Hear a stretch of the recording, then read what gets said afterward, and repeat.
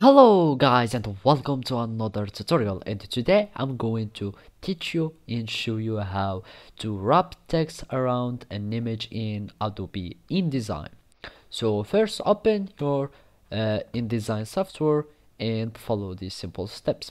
Here I have my text section here uh, and I have just a random text so as you can see here I have only some text that is repeated many times. Now I want to add an image or I'm going to add a shape so I can show you how to wrap the text. So basically I'm going just to add a shape here and let's make it in the middle. And you can give it a fill if you want. Just uh, have any fill. For example I give it this one.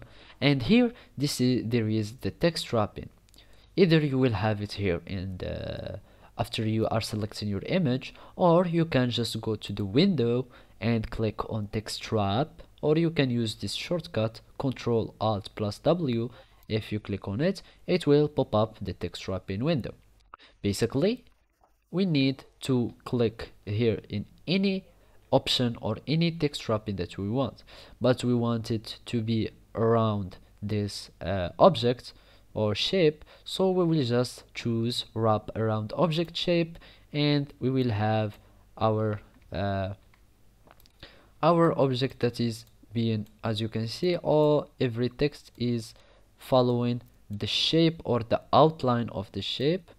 So to have it around and to be uh, wrapped around our rounded shape.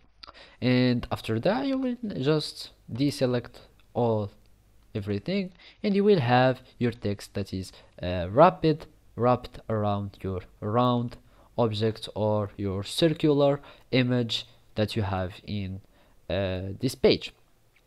So basically this is how you can do it in Adobe InDesign. Thank you for watching and goodbye